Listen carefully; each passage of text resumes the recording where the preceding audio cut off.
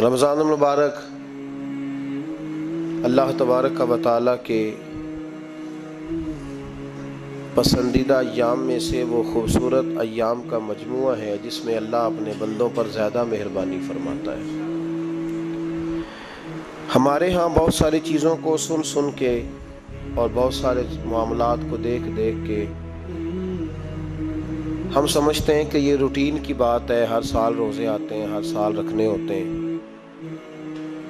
चूँकि ये बड़ा अजमत और कदर वाला महीना है, लेकिन चूँकि ख़ुद चल के आता है तो जो चीज़ खुद चल के आती है, उसकी कई दफ़ा कदर कमज़ोर हो जाती है। लिहाजा हम रूटीन के फ़जाइल सुनते हैं, रूटीन में उसे लेते हैं। मेरे अज़ीज़, हमारी महाफिल जब होती हैं ना महाफिल तो उनमें नकीब महफिल होता है। स्टेज सेक्रेटरी भी लोग उसको कहते हैं। और भी कई नामों से पुकारते हैं। वो आने वाले शख्सियत का तारुफ कराता है। कहता है कि फ़लाँ साहब आने वाले हैं। फिर ये भी कहता है कि वो बड़े अच्छे हैं, बड़े खूबसूरत बोलते हैं। अब मैं फ़लाँ, कारी साहब को दावत देने लगा हूँ। कारी साहब जो हैं, वो बड़ी अच्छी तिलावत करते हैं। बड़ी अच्छी उनकी आवाज़ है और बड़ा अच्छा उनका लहजा है। वो तारुफ करा रहा होता है। फिर नात खां के हवाले से भी इस तरह के वो तारीफ़ी कलीमात अदा करता है, लेकिन लोग बाज़ों का समझते हैं कि इन विचारों की ड्यूटी है, इन्होंने ये काम करना ही है। इनकी ज़िम्मेदारी है। और इसी तरह होता भी ऐसे ही है, हमारी महाफिल के जो अक्सर नकीब हजरात होते हैं, उनके जुमले रटे रटाए होते हैं, वो उन्होंने सबको कहने ही होते हैं, वो कहे जाते हैं। लेकिन अगर किसी महफिल के अंदर नकीब महफिल कोई बहुत बड़ा आलिम हो बहुत बड़ा मुहदस हो, शेखुल हदीस हो, या किसी खानका का कोई साहिब तकवा, साले मसनद नशीन हो, अगर वो खड़ा होके कहे कि जनाब आज मैं आपको तारुफ कराने लगा हूँ, एक बहुत बड़े अल्लामा, एक बहुत बड़े सूफी आ रहे हैं, फिर हम समझ जाएँगे कि जिसकी हमारे हज़रत तारीफ़ कर रहे हैं, वो कोई बड़ा ही अच्छा आदमी फिर हम समझेंगे, नहीं, ये रूटीन की गुफ्तु नहीं हो रही। ये वो रस्म नहीं जो रोज़ अदा होती है, इसमें कुछ इनफरादियत है, कुछ तखसीस है, कुछ इसके अंदर चीज़ें ज़्यादा हैं। वो फिर इनफरादी तौर पर हम थोड़ा सा उसको ज़्यादा दर्जा देंगे। नहीं, हज़रत जी कह रहे थे आज आज मैंने किबला से सुना है, आज फलां शेख और सूफी ने फलां की तारीफ़ किया तो बात कुछ ज़्यादा होगी। मेरे भाइयों, मिसाल दी है आपको समझाने के लिए कि रमज़ान मुबारक वो इज़्ज़त और अजमत वाला महीना है जिसका तारुफ किसी आम आदमी ने नहीं। रब करीम के कुरान ने बयान फरमाया है और मेरे मुस्तफ़ा करीम की ज़ुबान अतहर ने बयान फरमाया है। लेकिन आने से पहले, बुखारी मुस्लिम में हदीस है, हज़रत सलमान फ़ारसी रदी अल्लाह तु कहते हैं, रमज़ान शुरू होने से पहले नबी पाक ने हमें मस्जिद में बुलाया। और खुतबा इरशाद फरमाया, बाकायदा और इशाद फरमाया, लोगों, तुम पर एक महीना आने वाला है, जिसमें अल्लाह अपने बंदों पर ख़ास किस्म की रहमतों का नजूल फरमाता है। खुद रसूल पाक ने हमें किस कदर ज़्यादा उस महीने का इकराम करना है और किस कदर ज़्यादा उसको अहमियत देनी है और किस कदर ज़्यादा हमारे लिए वो बायस अजमत है कि जिस महीने के फ़जाइल खुद रसूल पाक सलाम ने बयान फरमाए। और नबी पाक सल्लल्लाहु अलैहि वसल्लम ने फरमाया इस महीने में तुम नफल पढ़ोगे तो अल्लाह फ़र्ज़ के बराबर सवाब अता फरमाए। और फ़र्ज़ का सवाब अल्लाह सत्तर गुना अता फरमाए। कितना? बोलिए। अच्छा होता पता क्या है? हमारे यहाँ लोगों को पता चल जाए ना, फला कारोबार आजकल ज़्यादा सही चल रहा है तो सारे लोग वही कारोबार शुरू कर लेते हैं। सीएनजी कुछ दिनों बड़ी ज़बरदस्त तजारत होती थी तो मेरा ख्याल है कि हर किलोमीटर पर इल्ला माशाल्लाह सीएनजी नज़र आती थी। अब लोगों ने समझ लिया है कि शायद खाना खाने का लोगों का मिजाज ज़्यादा है तो हम जिस चौक में खड़े होते हैं, जिस जगह जाते हैं, वहाँ लोग सबसे पहले बताते हैं कि यहाँ फलां होटल बड़ा मरूफ है, उस पर आपको खाना खिलाएँगे। तो अब हर आदमी ने होटल खोल लिया, बल्कि अल्लाह ताला माफ़ करे, हमारे यहाँ तो तालीम बड़ी अच्छी तजारत है। जब से सरकारी स्कूलों की हालत थोड़ी ख़राब हुई तो हर बंदे ने प्राइवेट स्कूल खोल लिया बहुत बड़ी तजारत है महासब मैं कभी कभी परेशान हो जाता हूँ कि वो कौम कैसे आगे बढ़ेगी जो तालीम बेचती है। और अल्लाह तबारक का वाली मुझे माफ़ करे तो हमारे यहाँ तो सेहत का शोबा सबसे ज़्यादा तजारत का हामिल है। कि अगर कोई आदमी अच्छी इन्वेस्टमेंट करके किसी अच्छी जगह हॉस्पिटल बना के कोई दो चार स्पेशलिस्ट डॉक्टर बना ले तो फिर तो वो बेशक झाड़ू के साथ पैसे जमा करे। मसला ही कोई नहीं। हम ये करते हैं कि जो पता महसूस होता है ना कि इस इस जगह मुझे रमक ज़्यादा नज़र आ रही है, तजारत मेरी ज़्यादा बढ़ेगी तो लोग उधर तवज्जो कर लेते ओ खुदा के बंदो, सियाबा का मिजाज ये था कि जहाँ उन्हें पता चलता था ना, इस नेकी का सवाब ज़्यादा है। तो वो भाग कर उस नेकी की तरफ़ तवज्जो करते थे। आप सियाबा की सीरत की किताबें देखिए। हज़रत अंस बिन मालिक रदी अल्लाह तु फरमाते हैं, जब नबी पाक सलाम ने रमज़ान की शान बयान की तो सियाबा का ये मिजाज बन गया कि वो अपने सारे काम रमज़ान से पहले समेट लेते थे।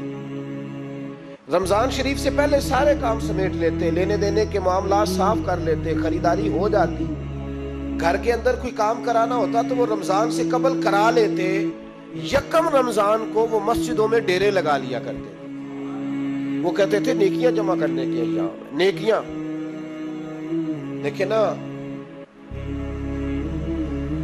सबसे मसरूफ तरीन ज़िंदगी हमारे नबी पाक सल्लल्लाहु अलैहि वसल्लम की ज़िंदगी है। तेईस सालों में नबी पाक सलाम ने तेईस सौ सालों से भी ज़्यादा काम किया। बड़ा मसरूफ वक्त था हजूर का। बड़ा मसरूफ।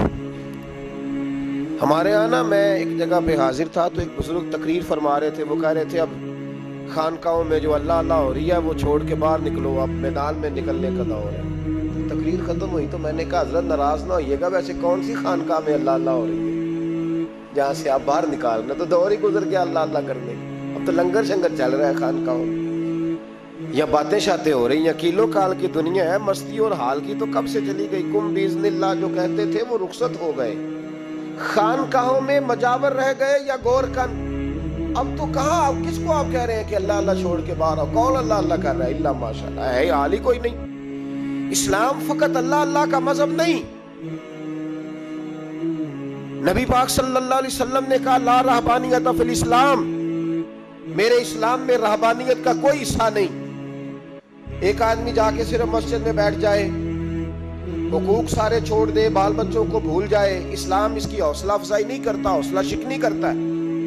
वो वाली सूफी का दर्श हजूर ने नहीं दिया कि मस्जिद में बैठो और बस मस्जिद में बैठो, खानका में बैठो, बल्कि नबी पाक सल्लल्लाहु हमें बदर में भी नज़र आते हैं। हुजूर खुद जंग का लिबास पहनकर हमें ओहद में दिखाई देते हैं। नबी पाक सल्लल्लाहु हमें खंदक के मौके पर हाथ में कुदाल पकड़कर नबी पाक सलाम हमें खुदाई करते हुए नज़र आते हैं। मस्जिद नबी तमीर हो रही है तो हुजूर हमें खुद ईंटे उठाते हुए दिखाई देते सारे काम हुजूर ने किए हैं। लेकिन मेरे भाई, ये याद रखो, अगर बदर में जाना मेरे नबी की सुन्नत है तो गारे हिरा में चुप करके बैठ के अल्लाह अल्लाह करना, ये भी मेरे नबी की सुन्नत है। सल्लल्लाहु ताला अलैहि वसल्लम। अगर ओहद में खद्दक में हुनैन में, मैदान में रहना हुजूर का तरीका है तो गारे शौर में तीन दिन अल्लाह अल्लाह करना भी नबी पाक का ही तरीका है। अगर सारा दिन तबलीग करना हुजूर का तरीका है, मुबारक है तो सारी रात मुसल्ले पे खड़े रहना। और सही मुस्लिम में हज़रत आशा फरमाती है कि कदमों पे वरम आ जाना, ये भी तो मेरे नबी का तरीका है ना? तो मेरे भाई, इसको कौन अपनाएगा? मसरूफ तरीन ज़िंदगी नबी पाक की। इसके बावजूद अल्लाह के रसूल हर साल दस दिन का इतिकाफ करते हर साल, एक साल जिहाद पे गए थे एतिकाफ नहीं हो सका। अगले साल मेरे नबी पाक ने बीस दिनों का एतिकाफ फरमाया। पिछले दस दिन का। मैंने एक बुज़ुर्ग की तारीफ़ की, एक अपने बड़े प्यारे, मेरे मोहब्बत वाले दोस्त हैं, उनके सामने मैंने कहा, यार, ये बंदा बड़ा चार साल इतिकाफ करता है। तो उन्होंने तर्जुमा कर दिया मेरी बात का।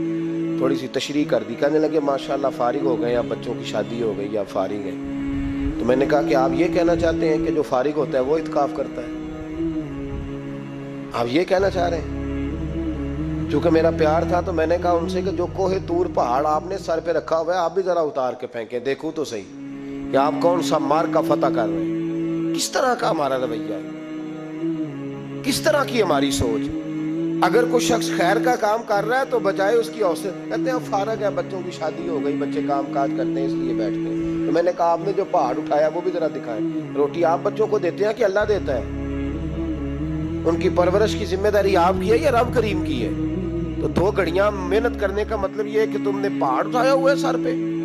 तो इस तरह के फलसफा हम बयान करते हैं। अफसोस ये होता है कि रमज़ान मुबारक, उसमें भी वही सियासतें, वही खुश गपियाँ मैं तो दुआ माँगता रहता हूँ कि अल्लाह रोज़ों में कोई इलेक्शन ना आए। आप भी आमीन कह दें। वरना वही मुसीबतें, वही झूठ साचे वही दरवाजों पे वही खुदा का वास्ता बस कर दो रमज़ान शरीफ है। ठहर जाओ जरा। क्या हो गया है? मेरे नबी पाक सल्लल्लाहु अलैहि वसल्लम ने फरमाया, ग्यारह महीने जन्नत सजाई जाती है और फिर रमज़ान में अल्लाह अपने बंदों के लिए जन्नत के दरवाजे खोल देता है। एक घंटा पहले सफ़ाई करते हैं, मेहमान ने आना हो तो। एक घंटा, वरना बच्चे दोबारा से फिर चीज़ें बखेर देंगे। घंटा पहले सफ़ाई होती है, लंबी नहीं। लेकिन मेरे नबी पाक ने फरमाया, रमज़ान के लिए रब करीम ग्यारह महीने जन्नत को सजाता है। छोटी बात है, रोज़े आ गए, मामूली हैसियत है। हम लोग उन्हीं मामला में मैं मना करता हूँ। हमेशा मना करता हूँ आपको, हर साल मना करता हूँ। मैं पाबंदी से एक दो अखबार डेली देखता हूँ। मेरा नाश्ता नहीं होता जब तक अखबार ना हो, चूँकि बुज़ुर्गों का फतवा है, जुमे का खुतबा वो दे जो आलमी हालात से बाखबर हो। हम कोई रस्मी तकरीर नहीं करते कि लोगों को कहें कि रोज़े आ गए तो कौन सा महीना चल रहा है तो महीने के हिसाब से खिताब हो। रसूलुल्लाह सल्लल्लाहु अलैहि वसल्लम की उम्मत के जो जिम्मेदार और पहरेदार होते हैं, उन्हें उम्मत की पहरेदारी करनी होती है। इसलिए वो ये नहीं देखेंगे कि कौन सा मौजू चल रहा है, उस पर मैंने एक घंटा गुजारना है। तरजीहात पर बात होगी। बात यह कर रहा था कि मैं रमज़ान शरीफ में अखबार नहीं देखता। मेरी अपील है आपसे कि आप रमज़ान शरीफ में ना रमज़ान ट्रांसमिशन भी ना देखें टीवी खबरें भी ना सुने। सारा साल सुनिए खबरें, हमारी खबरें सुनने से मुल्क में क्या इनकलाब आ गया या वो जो हमने चौक में खड़े होकर तजिया किया था, उससे कितने लोग सबर गए? छोड़े। जितना वक्त मिले, वो आके मस्जिद में बैठे। अल्लाह के घर में वक्त गुजारे। टाइम दें। इबादत आपको ज़िंदा करेगी। रूहानियत पैदा करेगी। तवानाई आएगी। खूबसूरती आएगी आपके अंदर। आप ज़िंदा रहेंगे। दुनियादारी दिलों को मुर्दा करती है। कुरान की तिलावत, अल्लाह का ज़िक्र, मस्जिद की हाजिरी, रूह और दिल को ज़िंदा कर दिया करता है मस्जिद में बैठे, वक़्त दें, मेहरबानी करें। और ये भी आज मैं बड़ी ज़िम्मेदारी से अर्ज़ कर रहा हूँ, अगर आप कभी ज़िंदगी में मुझे भी देखे ना, टीवी में किसी औरत के साथ मैं किसी प्रोग्राम पे बैठा हूँ तो आप बिल्कुल लिहाज ना करें। आप बिल्कुल वो चैनल बंद कर दें, मैं ज़रूरत ही नहीं। मेरे लिए कोई मुफ्ती दलील नहीं है तो औरत के साथ बैठा है प्रोग्राम में मैंने तो वो वाला कुरान पढ़ा जिसमें अल्लाह करीम ने कहा, औरतें आ जाए तो मर्द नज़रें नीची कर हमने तो वो वाला कुरान पढ़ा जिसमें हुक्म है कि मर्द आए तो औरत अपनी नज़र नीची कर ले तो जहाँ लामा साहब के सामने लड़की बैठी है, टीवी में इंटरव्यू ले रही है, वहाँ नज़रें नीची होती हैं। कहाँ से फतवा आया? हज़रत जुनैद बगदादी तो फरमाया करते थे कि हसन बसरी पढ़ाने वाला हो, राबिया बसरी पढ़ने वाली हो। तो फिर भी उनको बगैर पर्दे के पढ़ने पढ़ाने की इजाज़त नहीं है बात खत्म हो गई। मैं कल मुझे सरकारी यूनिवर्सिटी है, जामिया कोटली, कश्मीर की। उन्होंने मुझे दावत दी कि आपको लेक्चर देना है, साइंस, तकवा और रमज़ान। तो स्टूडेंट्स होंगे, कुछ प्रोफेसर होंगे। तो मैंने कहा कि इतने बड़ी जगह आपने मुझे बुला लिया, यूनिवर्सिटी लेवल के तलबा तो बड़े आगे जा चुके होते हैं। चले, खैर, मैं वहाँ हाजिर हुआ।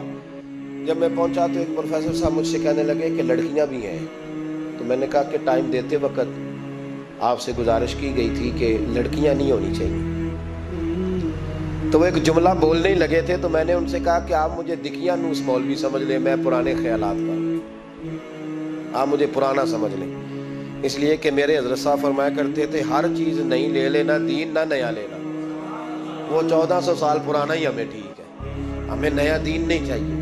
कहने लगे, जी, वो बच्चियाँ थोड़ी पीछे बैठ जाएँगी। मैंने कहा, आप दरमियान में पर्दा लगा लें, मैं उन्हें ना देखूँ, वो मुझे ना देखें।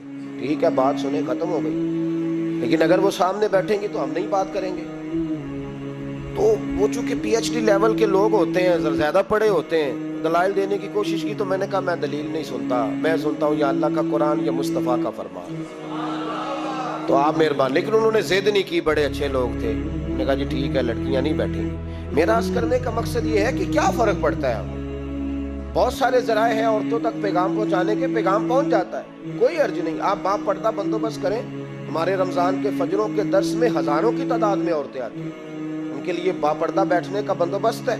लेकिन कुछ ज़रूरी है कि टीवी पे एक औरत बन सवर के सामने बैठे और आप उसके सवालों के जवाब दें। हमारे लिए ना कोई मुफ्ती दलील है, ना कोई शेख हदीस दलील है। इस तरह का कोई मुफक्र मुहक्क हमारे लिए दलील नहीं।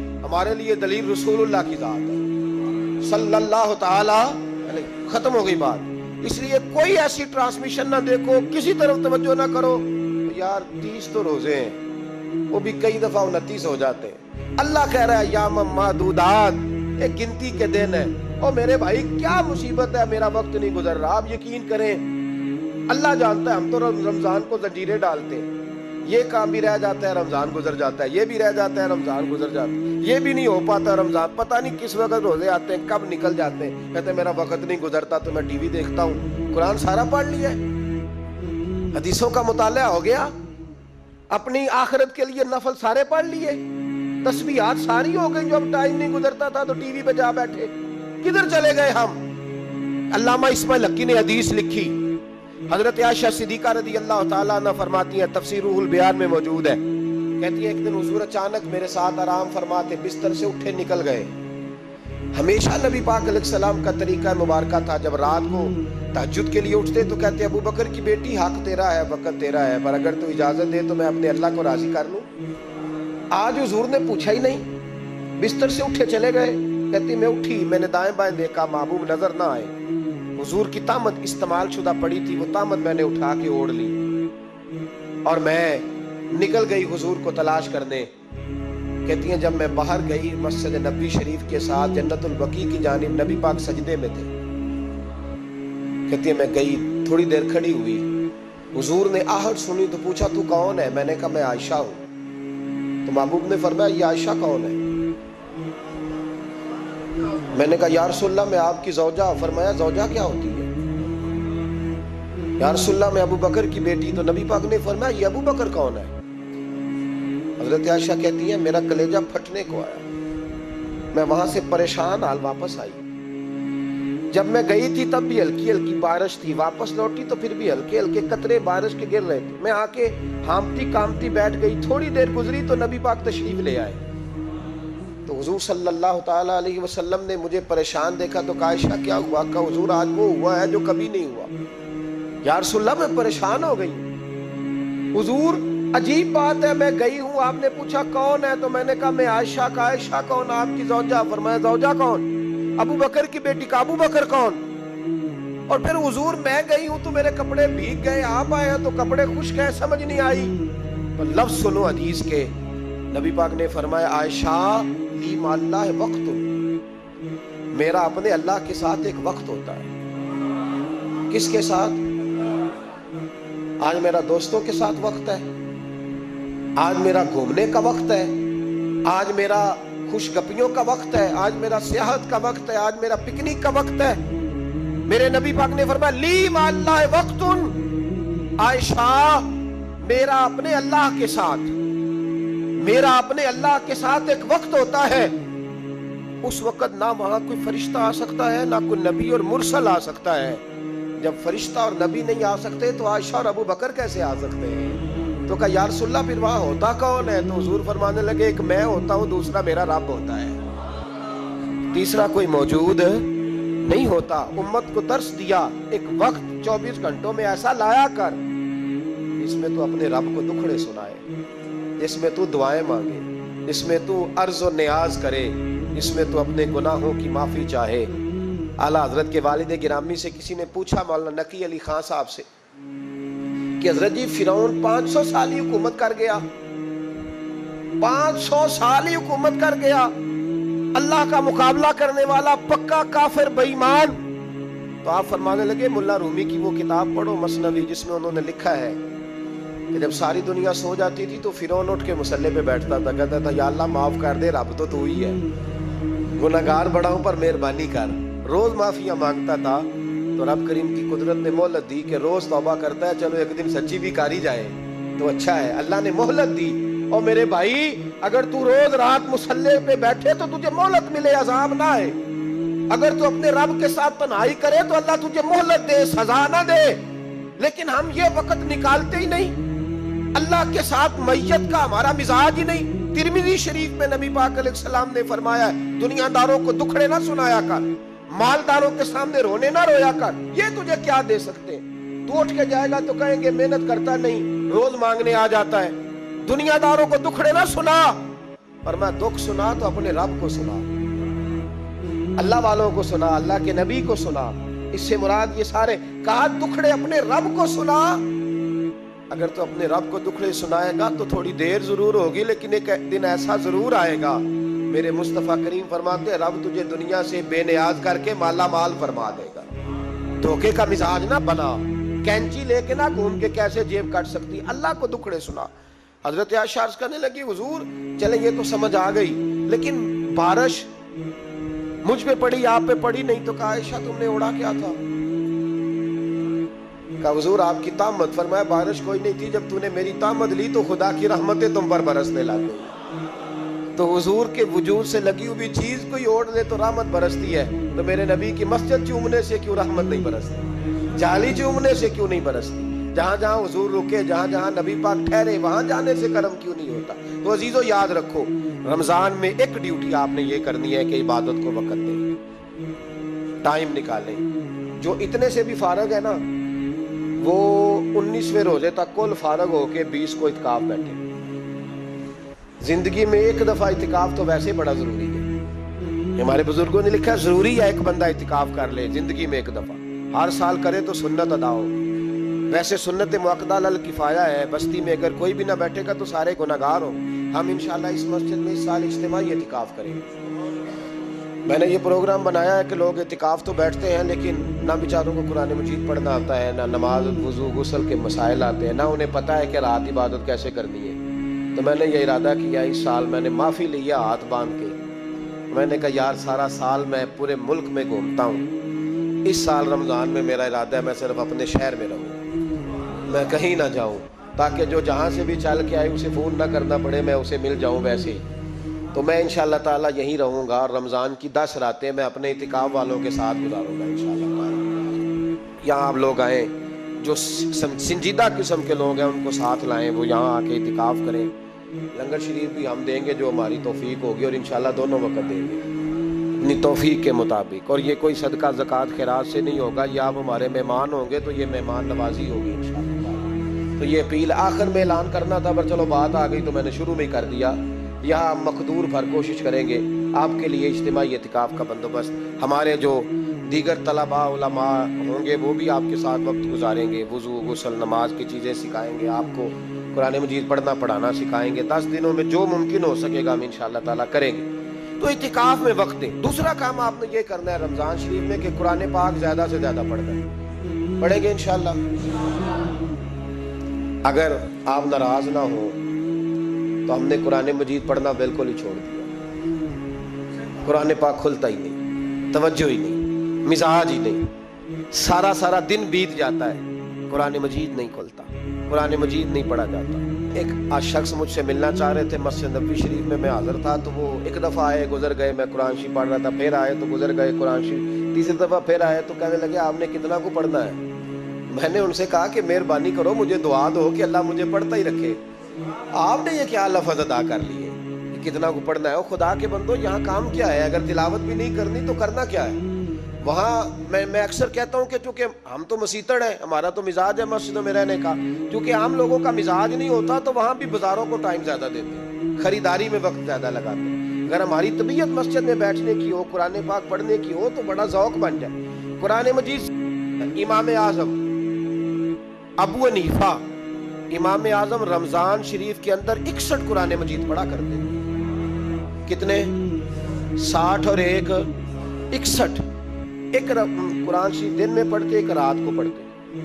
पूरे दिन में कुरान मजीद खत्म करते, एक रात को। और आप फरमाते हैं, इकसठवा कुरान मजीद वो था जो मैं तरावियों में सुना करता इकसठ कुरान पाक आप हर रमज़ान में पढ़ा करते थे।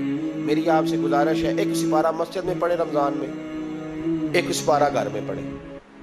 मस्जिद में पढ़ेंगे तो मस्जिद का हक अदा होगा।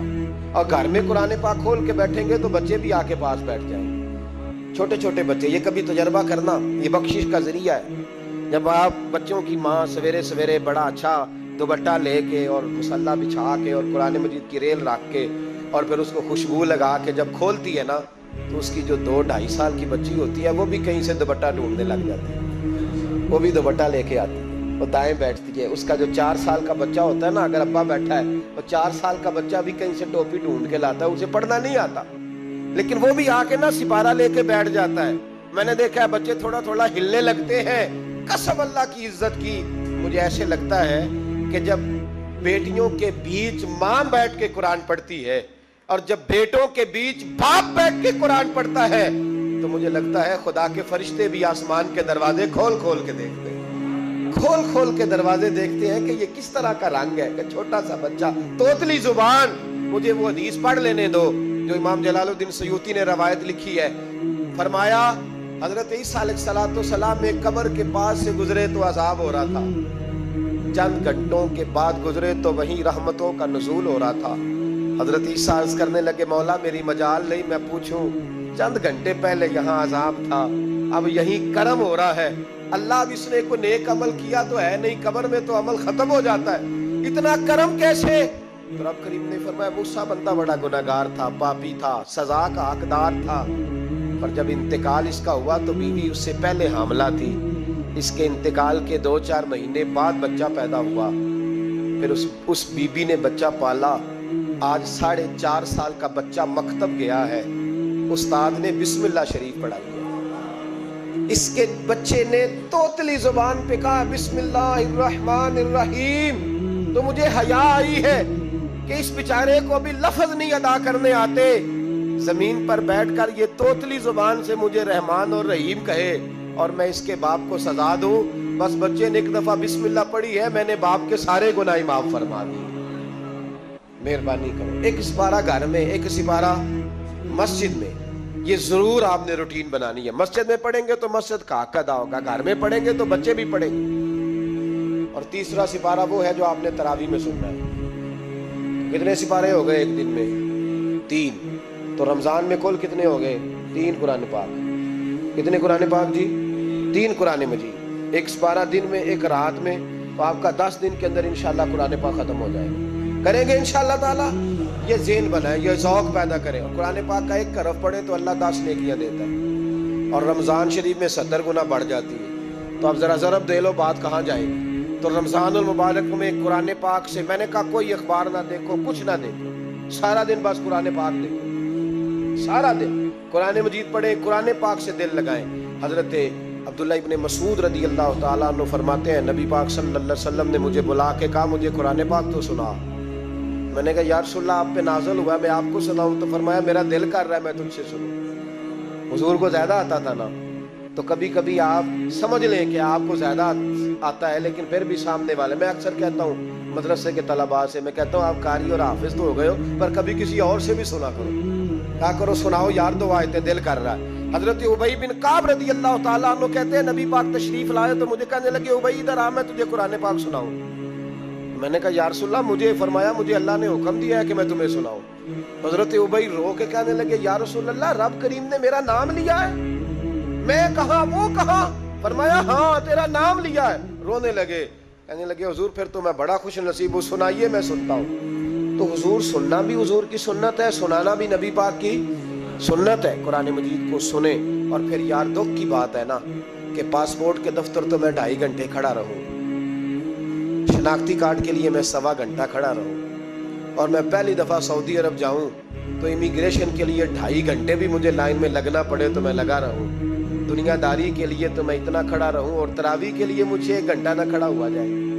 तो मैं बहाने करता फिर तो फिर याद रखो, हज़रत सैदा असमा का करती थी, नबी पाक ने मुझे कहा था, असमा अल्लाह के रस्ते में गिन गिन के ना देना, वरना वो भी तुझे गिन गिन के देगा जब हम रब करीम को वक़्त इस तरह देते हैं कि दुनियादारी के लिए तो सारी हमें, हमारे पास हिम्मतें मौजूद है और तरावी का वक्त आया तो बहाने ढूँढने लग गया।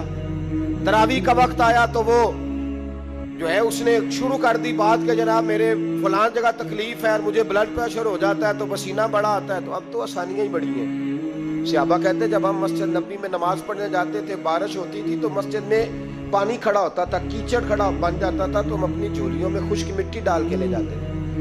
अपनी अपनी जगह बिछा लेते, मिट्टी और फिर हम नमाज़ पढ़ते तो हमारे पेशानियों पर भी मिट्टी लग जाती। एक सियाबी झाड़ रहे थे तो नबी पाक ने फरमाया, ना झाड़, जब तक चेहरे चेहरे पे रहेगी, फरिश्ते दरूद भेजते रहेंगे। अब तो ऐसी लगे हुए मस्जिद में, फिर भी दूतरा भी नहीं पड़ता। तो एक तो इबादत को टाइम दें, दूसरा कुरान मजीद ज़्यादा से ज़्यादा पढ़े रमज़ान में। ज़्यादा से ज़्यादा पढ़े, मस्जिदों में टाइम दें, मुझे दुख होता है। जब रमज़ान में भी नमाज़ के बाद मस्जिद को ताला लगता है। अगर हम सारे आए मस्जिदों में, हम रमज़ान शरीफ के अंदर वक़्त दें, जिसके पास टाइम हो, वो आके बैठ जाए, कुरान मजीद खोल ले तो मेरा ख्याल है कि मस्जिदें भी हमें दुआ देंगी कि देखो, हर वक्त इन्होंने मेरे अंदर तिलावत की। एक और बात भी अर्ज़ करनी है, ये मुझे कहा गया है, मेरी अपनी तरफ़ से नहीं, ये मुझे रुका दिया गया है। कह दूँ, पक्के नमाजी नाराज़ तो नहीं हो जाएँगे? जो पक्के नमाजी हैं मस्जिदों के, वो मेरे साथ वादा करें, नाराज़ तो नहीं हो जाएँगे? नहीं नहीं बोल दे तुसा हो जाना पक्के बोल दे नहीं पे पक्के घूर देने पे पक्के नमाजी ये पक्के नमाजियों से बात नाराज़ तो नहीं हो जाएँगे ये बोल के बताएँ इनशाला कहें कच्चे नमाजियों को शिकवा है कि पक्के नमाजी रमज़ान में हमें घूरते हैं रुखे दिए मुझे उन्होंने कहते हैं पक्के नमाजी कहते फसली बटेरे आ गए ने ये ज्यादती है ये जुल्म है आप पक्के नमाजी हैं तो मेहरबानी करें। आप वो जो जो आपने साफ़ लाट कराई है ना, अपने नाम पक्की। इतने मैं पैना रोज, तू कितों आ गया? ये छोड़ दें आप, मेहरबानी करें। ये अल्लाह का घर है। ये किसी के नाम रजिस्ट्री हो सकती, जो आया है ना बेचारा, चलो कभी कभी सही। मेहरबानी करें, उसको टाइम दें, बैठने दें, कुछ नहीं होने लगा। और जब वो आए ना तो दुआ करें, जब उसको देखें तो कहीं अल्लाह जी, आया है तो हमेशा आता ही रहे। उसको दुआ दें मेहरबान बच्चे शिकवा करते हैं। कहते हैं, पक्के नमाजी, सांस नहीं लेने देते। मस्जिद में। और एक बात और, ये हज़रत अली का कौल है, इसको दिल की तख्ती पे लिख लेना। दिल की तख्ती पे शेर खुदा की शेरों जैसी बातें। हज़रत मौला अली शेर खुदा फरमाया करते थे, वो नेकी करने वाला अच्छा नहीं, जो नेकी करके अकड़ जाता है। और दूसरों को गुनागार समझता है, वो नेकोकार अच्छा नहीं।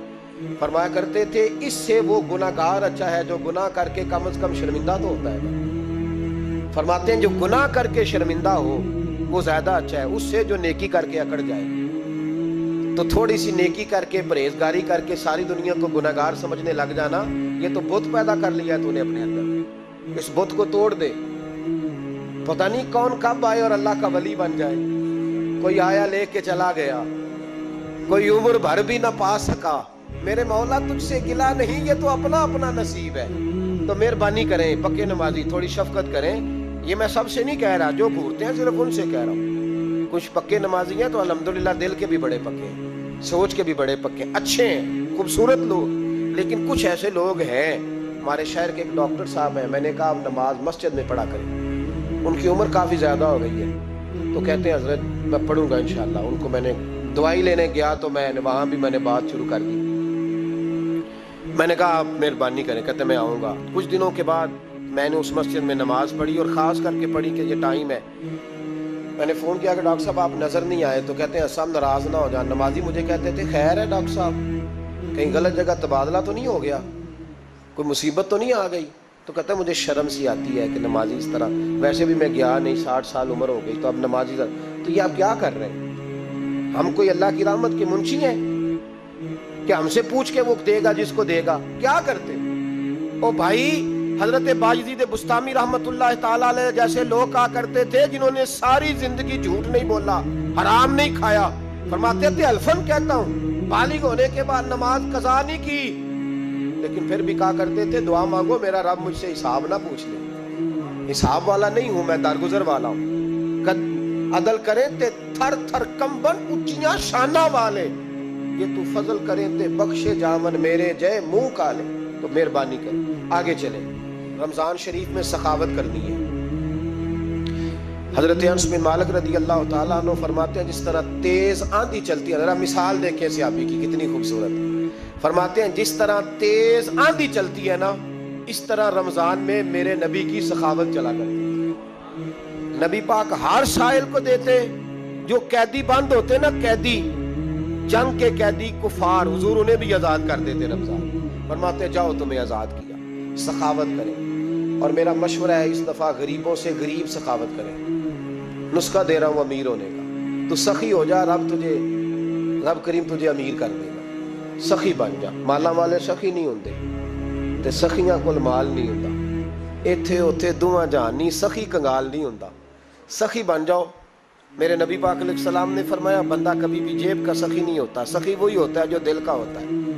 गरीबों को मेरा मशवरा है कि दस रुपए दो, लेकिन रमज़ान में रोज देना। हर शाम देना। गरीबों को साथ बिठाओ, रोटियाँ खिलाओ, इफ्तारियाँ कराओ। गरीबों के घरों के अंदर सूट पहुंचाओ, मदारस के तालब इलमों को कपड़े खरीद खरीद के दो। जो कुछ नहीं दे सकता, वो एक मिसवाक ला के दे। ड्यूटी करो। अपने दाएँ बाएँ गरीबों का ख्याल रखो। जिन घरों में अक्सर जात देखते हो कि दाल का शापर जाता है, वहाँ रमज़ान शरीफ में सुबह सुबह गोश्त पहुंचाओ। मेहरबानी करो। गरीब गरीब। अमीर तो किसी को तब देगा जब उसने वोट लेने होंगे। वो तो वहाँ जक़ात देगा जहाँ से उसे पता होगा कि मेरी तारीफ़ अच्छी होगी। वो तो मस्जिद में उस वक्त खर्च करेगा जब उसका नाम बार बोर्ड पे लिखा जाएगा। गरीबों, तुमने जुल्म किया है। अगर तुम अपनी चार गरीब भाई मिल के एक गरीबनी बहन का ख्याल रखते तो उस गरीबनी को महल्ले के चौधरी के पास ना जाना पड़ता। अगर चार गरीब भाई एक गरीब भाई का ख्याल कर लेते थोड़े थोड़े जो साहिब बेसियत थे तो वो मजबूर ना होता। मेहरबानी करो। हज़रत अब्दुल्ला इब्ने उमर रदी अल्लाह नो हर रोज मदीने के मिस्किनों को ढूंढ के लाते थे। फरमाते थे कि उनको एक थैला देना मैं इज़्ज़त नहीं समझता। ढूंढ के लाते गरीबों को और अपने सामने दस्तरखान बिछाते रमज़ान में और फिर उन पे खाने चुनते। और फरमाते, गरीब खाएँगे तो मेरा अल्लाह राज़ी होगा। साथ बिठा के खिलाते। एक बड़ी अजीब बात हो गई, घरों में हो जाती है। जिन घरों में ज़्यादा मेहमान आते हैं, वहाँ ये मसले बन जाते हैं। एक दिन जोजा कहने लगी, खाना आपका ये आज मेहमान को ना लाइएगा। कह देती है ना बीबियाँ कभी कभी ये नाफरमानी नहीं। अगर आपको खड़ा किया जाए ना रमज़ान में रोजा रख के बवर्ती खाने तो अलग पता जाए। इसको नाफरमानी ना समझे।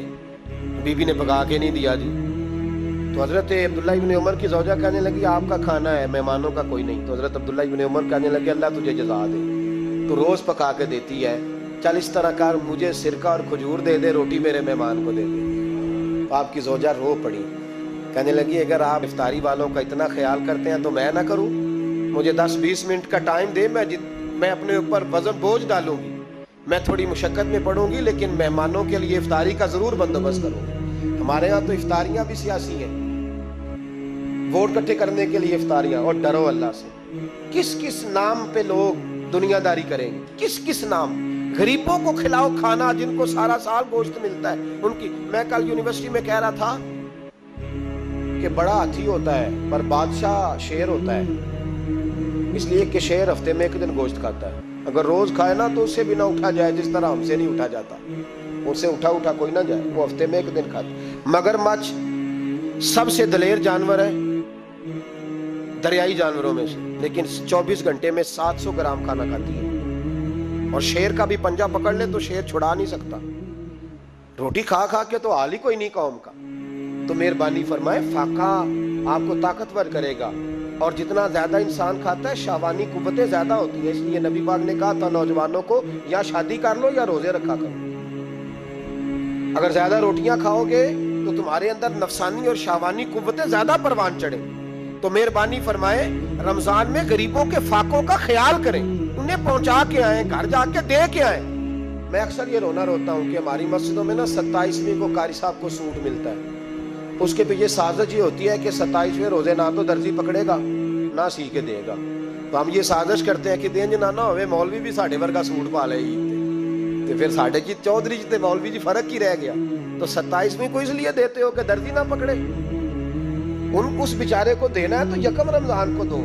उसको को हज़रत जी, मेरे वाला जोड़ा पहन के आपने तरावियाँ पढ़ा दी। ये जुमा आपने मेरे सूट से, मेहरबानी करें। आप जो आपके अपने अपने इलाके के मस्जिद के कुर्रा हैं, हुफाज हैं, तालब इलम हैं, उनको रमज़ान शरीफ शुरू होने से पहले और किसी घर में आप लंगर पहुंचाते हैं, बीसवें रोज़े तो बीस रोज़े तो फाके से उन्होंने रख लिए। अब आप घी लेके पहुँच गए। अगर रमज़ान की नीयत करके रमज़ान से पहले भी दोगे तो अल्लाह रमज़ान जितना ही अजर अता फरमाएगा। फतराना यकम रमज़ान को दे दो, मेहरबानी करो। ताकि गरीब के घर के अंदर चूल्हा सही जले, उसके बच्चे भी खाना सही खाएँ। मेरी ये गुजारिश है कि अगर आपने किसी गरीब की बच्ची को कपड़ा, लिबास और गरीबों को कुछ लेके देना है तो रमज़ान से पहले लेके दें। ताकि दर्जियों का रेट कम हो, वो काम जो है वो जल्दी हो जाए। और मेरी गुजारिश है मुसलमानों से कि अपने सारे काम रमज़ान से पहले समेट लो। इतने कीमती दिन दोबारा नहीं मिलेंगे जो ज़िंदगी में रमज़ान दोबारा से आ रहा है। सारे काम पहले कर लो। हमारे यहाँ तो आप यकीन कर लें, ना दर्जी तरावियाँ पढ़ता है, ना कपड़ों वाला पढ़ता है, ना काज बटन वाला पढ़ता है, ना नलकी वाला पढ़ता है। वो कहते हैं जी, राशि सारा इन दिनों में। वो जो आखिरी दस रातें होती हैं ना रमज़ान की, हज़रत आयशा सिद्दीक़ा रदी अल्लाह तला फरमाती हैं, हुजूर, हमें नफल के लिए नहीं जगाते।